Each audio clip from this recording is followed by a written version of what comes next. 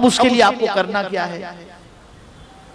تو آپ سے میری معدبانہ گزارش ہے کہ آپ اپنے گھر والوں میں اپنے دوست احباب میں رشتہ داروں کے اندر آپ اپنے اعتبار سے آپ پندرہ سو دو ہزار روپے جس طریقے سے اس کا چیک بنا کر کے اگر آپ دیتے ہیں تاکہ لیگل اعتبار سے کوئی پرابلم نہ ہو تو آپ اسے وہ کریں اور اسی طریقے سے آپ اگر یہاں ہمارے ذمہ داران کے پاس بھی رقم جمع کروا دیں تو بھی اور اس طریقے سے آپ کوئی ذمہ داری اپنے سر پر قبول کر لیں کہ بھئی چلیے لائٹ کی ذمہ داری ہم لے لیتے ہیں اس کی ذمہ داری ہم لے لیتے ہیں تو بھی کوئی مذائقے کی بات نہیں بچھات کی ذمہ داری ہم لے لیتے ہیں تو بھی کوئی بات نہیں ہے، تو آپ کسی نہ کسی اعتبار سے تحریک کے اجتماع کا تعاون کریں۔ اس لیے کہ آنے والا آئے گا، بچھات کا آپ نے انتظام کیا، اس میں تعاون کیا، وہاں سجدہ کرے گا، ثواب آپ کے کھاتے میں جمع ہو جائے گا۔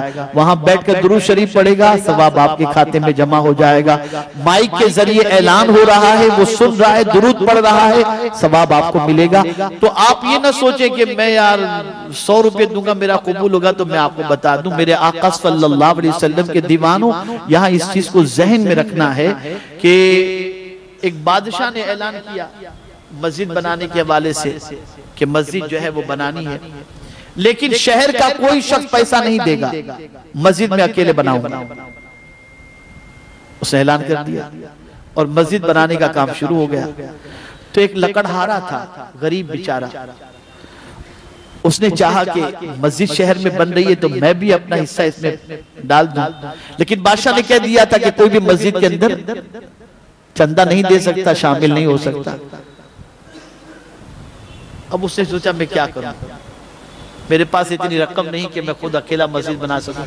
تو اس نے یہ کیا کہ لکڑی توڑ کر کے جنگل سے لا رہا تھا۔ تو ایک اینٹ راستے میں اس نے خرید۔ اور ایک اینٹ کو اپنی لکڑی کی گٹھڑی کے اندر ڈال دیا اس نے۔ اور لکڑی کی گٹھڑی کو ڈھیلی کر دیا اس نے، ڈھیلی باندھا۔ اور پھر وہ گٹھڑی کو لے کر کے آیا۔ اور جہاں بادشاہ نے اینٹیں جمع کر کے رکھی تھی مسجد کے لیے، وہیں آ کر وہ جان بوجھ کر کے گر گیا۔ تو لکڑی کی گٹھڑی کھل گئی۔ اب کھلی تو اس میں جو اینٹ اس نے رکھی تھی، وہ اینٹ ان اینٹوں میں مکس ہو گئی۔ پھر اس نے اپنی لکڑی کی گٹھڑی کو باندھا اور باندھ کر کے چل دیا۔ مسجد بن گئی۔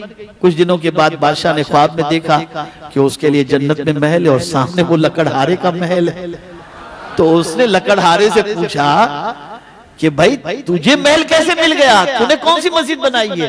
تو اس نے ساری اپنی آپ بیتی بتا دی بھائی تم نے تو منع کر دیا تھا لیکن میں نے یہ ہیلا نکالا راستہ نکالا اور اس طرح سے میں نے اینٹ جو ہے وہ اس میں شامل کر دی جس کی وجہ سے اللہ نے مجھے بھی جنت میں محل عطا فرما دیا۔ تو آپ یہ نہ سوچیں کہ میں ہزار روپے دوں گا یا پندرہ سو روپے دوں گا تو اتنے بڑے خرچے میں میری رقم کا کیا ہو سکتا ہے اللہ اس کے صدقے میں بھی کرم کی نظر فرما دے اور یہ سارا کام دین کا ہے، کوئی اپنی ذات کا نہیں ہے۔ آپ جتنا کریں گے اپنی ذات کے لیے تو ہم لاکھوں کرو آج کل تو کپڑے آدمی بناتے ہیں صدری بناتے ہیں۔ دیکھیں جی ہمارے مولانا ہزار صاحب صدری اور کرتا پہنے کتنا اچھا۔